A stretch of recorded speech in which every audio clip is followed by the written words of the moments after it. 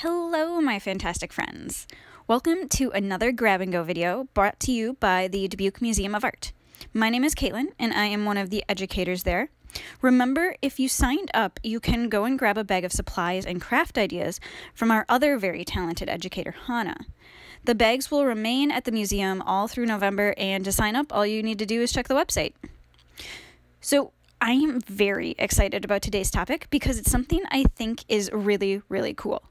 Today, we'll go over the basics of the Stone Age, what kind of stuff they made, and why we think they might have made it. The Stone Age is a chunk of history when humans, that means us, first showed up on the planet. It spans a huge amount of time, dating back to millions of years ago. Now, that's a crazy long time to go over, and a lot of our info is educated guessing. We have some solid dates and ideas about these people, but you guys will definitely hear me say words like about and around. Prehistory is a messy, messy thing and can be confusing at times, so it's okay if you have to rewind or watch this again. So, with all of that, let's get going. The Stone Age starts around 2.6 million years ago and is the very beginning of us. The Stone Age is also divided into about six different time periods, and the very first one is called the Oldowan period. Now, Oldowan humans didn't really look like people today. For the most part, they walked upright, they had much smaller brains, and they had hair all over their bodies there used to be a lot of other types of humans, just like there are a lot of different types of cats in the world. There are lions, bobcats, house cats, tigers, and more. And they all have things that make them cats, but they're also very different animals. Humans a long time ago were in the same boat. They were all human, but very different animals. Modern humans are sapiens. I'm a sapien, you're a sapien, everyone you will ever meet is a sapien and all other types of humans went extinct. That's something that we'll go over later. Now, during the Oldowan, sapiens, us, weren't around yet, but our ancestors were. And they began making something very, very special. They made tools, but not just tools. Lots of animals make tools. Our ancestors and the other Oldowan humans made a tool that made another tool. They made a thing to help make another thing. Most tools at this point were made of wood, but along came the hammerstone. This was a hard rock that was used to hit a softer rock into a certain shape. By doing this, they made choppers, scrapers, points, and discs. This made processing food much easier for the early humans. Back then, the way humans got food was they hunted small animals, scavenged a bunch of dead animals, and gathered plants and insects. They couldn't really talk other than simple sounds like grunts and hand gestures, but eventually they were able to talk about objects and places, sometimes to warn each other. The Oldowan period was a time where we weren't making art, but we were making something. And every time we made something, life got a little bit easier. So, I want you to take a moment and close your eyes and imagine you are an Oldowan human. Your body is covered in hair, and your hands and feet are extremely rough because you have no shoes or gloves. You live in groups, but you don't really have conversations with your friends. And you wander and roam from place to place. There are no houses or even huts. You spend most of your time out hunting or gathering food, and even more time thinking about how to get food.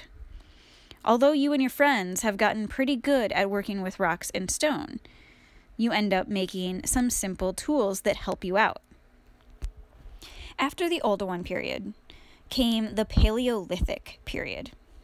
Now, at the start of the Paleolithic, around 1.7 million years ago, people began losing their hair and their brains got a lot bigger. Those simple stone tools helped bring in more food. More food meant less time hunting, and less time hunting meant more time socializing. And then there was a change. It's at this point we started making things symmetrical, meaning looking the same on both sides. This was proof that we started understanding shapes and which shapes worked better than others. We were starting to pay attention to what things looked like. After that, we made the hand axe, spears, and a whole bunch other complex tools. These more advanced tools helped us to hunt bigger animals and cut down tougher plants. And just like before, the better tools made us better hunters. And the better hunters we were, the more food we got. The more food we got, the less time we spent hunting, and the more time we spent socializing and thinking. Now, just like the Oldowan people, early Paleolithic people were nomads, meaning they still wandered around, they roamed, and didn't really stay in one place for too long. And just like today, the cultures were all different. These roaming groups of humans were called bands, and there were only about 24 to 30 per group. At this point, a couple types of humans had gone extinct, and a couple new types had evolved. Nothing was permanent for these humans. People moved to a new place weekly or even daily. They carried what they needed on their backs, and if you couldn't keep up with the traveling group, you were either left behind or killed. Life was rough, but because there was more time now to spend with friends and family, people were talking more than ever. And now they could talk about the past, the present, and the future, along with places and objects and sounds and gestures. Sometimes, when bands of humans would meet, they would fight. But also, a lot of times they would group together and share the information that they've learned along their way. So now, imagine you are an early Paleolithic human. You would have less hair, your brain would be smaller than today's, but it's getting bigger. You and your band still wander around, and your hands are still rough from making those stone tools. But those tools mean you don't have to hunt as often. You make a spear and can take down large animals.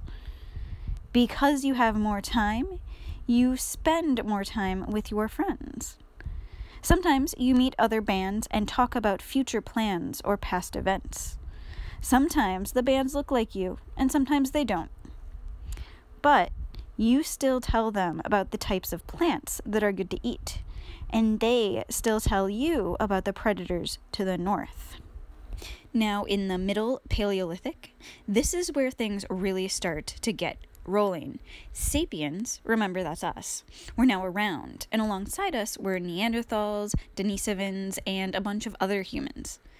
An ice age was setting in, but luckily, the humans of the world had mastered fire, and, not long after, cooking. Fire provided much needed warmth in the cold ice age, along with protection from predators. Cooking killed germs, but also softened hard to eat food because of cooking, people could eat foods that before couldn't be digested and so wouldn't be eaten. As an example, today's chimps spend about five hours a day just chewing their food. So, as a result, our intestines got shorter, and can you guess where all that energy went? As our intestines got smaller, our brains got bigger. And once again, because we had more food, we spent more time bonding with each other and thinking about things. And while all of this was going on, something else began to happen. Sapiens, remember that's us, were spreading everywhere. And everywhere we spread, the other humans began to disappear. Because of our big brains, we were out competing the other humans. Because we could do something that no one else could do. Sapiens could talk and understand things that didn't exist. We went from simple sounds to describing things and places with those sounds, and from describing things and places to describing when those things and places affected us. Finally, we could put all of this information about things and places and other stuff, and we could ask each other what it means things could be made up, or something could mean something else entirely. we could talk about our feelings or tell each other stories. We could have beliefs and we could share our ideas with the rest of the band. It's this talent that allowed us to gather in huge numbers, from a couple dozen to over a hundred. And we could work together because people bonded over these stories and feelings and made up things. This was the true beginning of our imaginations. And while all this talking was going on, people started doing something else that was pretty darn cool. They made paint and they made jewelry. The first paint was red ochre. It was made from red clays and rocks that were dried and ground into a dust. Then it would be added to animal fat to help spread it on things. The first beads were actually snail shells, dating back to around 80,000 years ago. Shortly after, we started making beads out of ostrich eggs, rocks, and wolf teeth. We even drilled holes in them for string. Because people didn't spend as much time hunting and gathering for food, they began hunting and gathering other things. Things that were rare or pretty things like crystals or shells or bones. Sapiens even began doodling on rocks and other things. It seems like at this point we took a lot of value out of how things looked. This is the beginning of people starting to make kind of like a pre art. Sapiens were at the top of the food chain and our brains were finally the size they are today. People had boats, clothes, fishing hooks, and were starting to chill out with wolves. Cooking had allowed people to stay put for longer, and although people still roamed around, they stayed for longer periods of time in one place. Now that you've pretended to be an Oldowan and an early Paleolithic, let's take a moment and think about what life was like as a sapien during the Middle Paleolithic. You look like you do today. You have clothes made of animal hides, and because you are important, you wear jewelry with lots and lots of beads made out of teeth from wolves. It's cold outside, but you and your friends have a fire to keep you warm. And over the fire, you and your friends tell stories and trade prayers. The plants and meat you cooked are soft and tasty. Tomorrow, you and your friends will move the band to a creek bed to find red rocks and shells. And then the next day, you and your band will leave and find a new place to live. By the late Paleolithic, sapiens were the only humans left. All other types had died off. There were no more Neanderthals or Denisovans or any other human group. It's in the late Paleolithic that we begin making true artwork. Art was just another step in our language. It was something that could be seen and was more permanent. Until this point, if a grandfather wanted to tell a story to his son, he would have to hope that his son would tell his grandson the same exact story and not screw it up. A lot like the game Telephone. But art was actually something that could be passed down or shown to people, something that could teach others, even if those other people might never actually meet the artist. Most cultures around this time were probably animists, meaning they believed that every object and animal had a mind and a soul. For example, if a volcano was erupting, the surrounding people might pray to it and ask it why it was angry. At this time, humans did not see themselves at the top of the food chain, even though they were. And this might be the reason why so many huge predators are found in cave art. Most of the artwork found in caves are of animals, and not just any animals, big, scary animals. Some say that this is because people were animists, that painting these large, intimidating animals was a way to contact the animal spirit or communicate with the dead. Maybe it was part of a prayer, or to ask for hunting success, or a rite of passage when the large animal was killed. Maybe it's actual historical records and storytelling, scenes from real life. Nobody really knows, and we can only make good guesses. So far, one of the oldest and well known caves is the Chauvet Cave in modern France. The caves were pitch black, they were damp, and they were dangerous. An artist only had their paint and a torch. The paintings sometimes showed drawings on top of drawings on top of drawings. Some people today think that this is to show the animal moving, or maybe it's to show time passing. Others think it was just difficult to see in the dark. Maybe the artist didn't mind the drawings overlapped. And almost always the paintings would be in black, gray, and red ochre. Sometimes paintings would be on the walls or even on the ceilings. Most cave art that we recognize today come from Spain and France. In Lussig's Cave, there are over 600 etchings on the walls. And almost all of them are animals. Some of the paintings are even the most accurate description we have of animals that have gone extinct. People would paint with their fingers, moss, sticks. They'd paint with animal fur, they'd paint with feathers. They even painted with a super early form of spray paint. The artist would hollow out a bone or a plant stem and then place that red ochre dust inside. Then they would blow the dust out over an object. Most often it was their own hand, and it would create kind of this weird stencil pattern. There were other types of art as well. People still roamed and wandered around. They were spending longer time periods in the same place, but they were still nomadic. So the art they took with them was small and portable, oftentimes little stone figures. Most of these were animals, but one figure pops up again and again, and this is a woman. We named her Venus. The most famous Venus statue is the Venus of Willendorf. She's thought to be a good luck charm, that holding her will help your chances of survival and starting a healthy family. Even though people were a lot better at getting food, life was still pretty rough she is well fed and able to care for a family. So it's possible that people who made or owned her would also want that for themselves, and she might help them with that. So imagine you are a late Paleolithic human. You and your band reach a small camp. You have done your daily rituals and your prayers. You hear dogs barking behind you, and your friend tries to quiet them.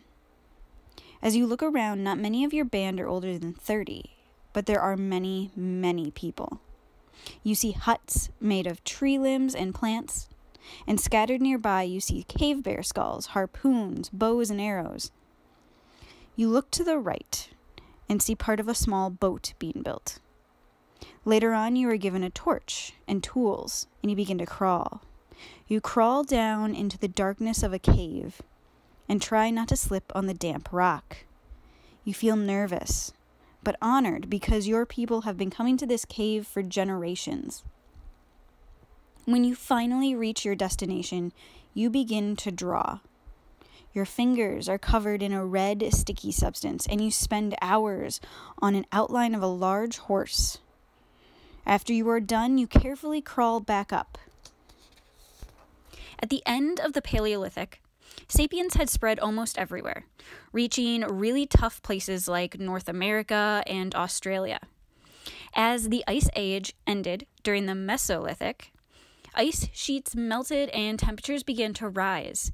In response, bands of people improved on their little brush huts or their little homes. They started making permanent settlements, living and dying in the same place. This takes us to the last period of the Stone Age, the Neolithic period. If the Paleolithic was all about learning to think and imagine, the Neolithic was all about learning to farm. More and more groups settled down, giving up a life of wandering and roaming around. Part of the reason we could do this was because we had wheat and we had goats. Other than the dog, wheat and goats were the first two things to be domesticated or tamed by humans.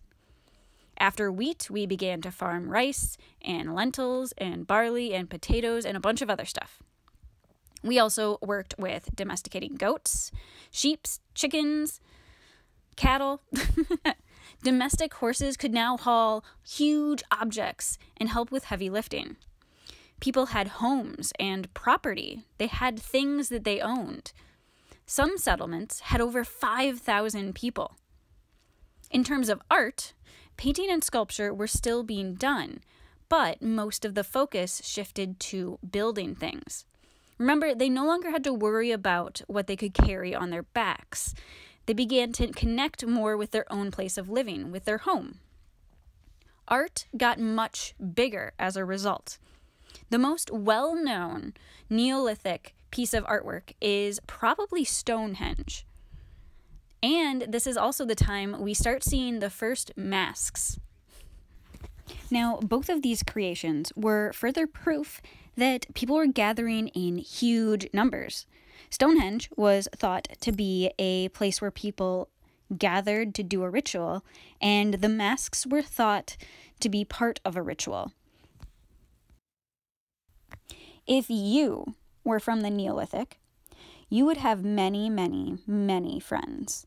But you would also have many, many, many chores. You would help care for your goat herd. You would make sure that a comfortable fire was going in your home to keep it heated. Your settlement is loud and noisy from all the people, tools, and animal sounds.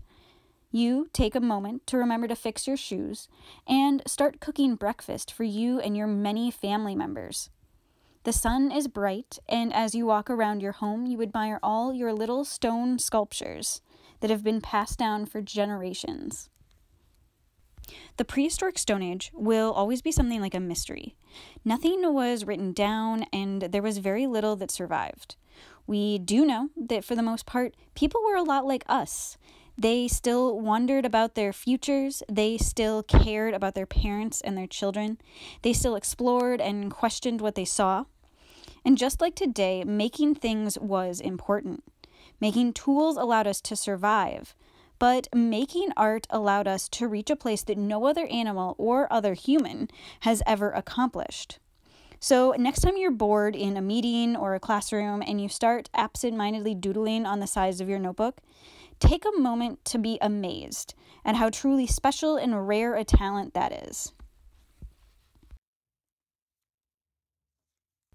So, that's the end of this video. Um, again, if you signed up for the grab and go bags. They'll be at the museum throughout the end of November, and you can go and pick them up. There should be a volunteer at the desk, and you can just ask them where to pick them up at. All right, thanks again, guys. Have a good day.